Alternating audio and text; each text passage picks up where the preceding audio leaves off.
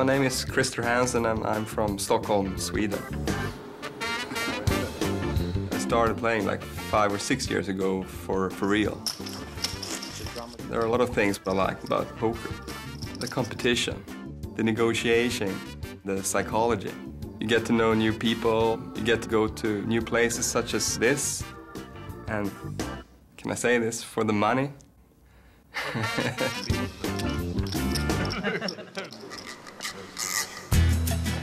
I think I'm pretty unpredictable.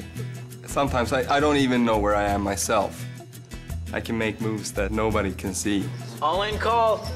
I'm looking forward to, to the competition. All the best players are here.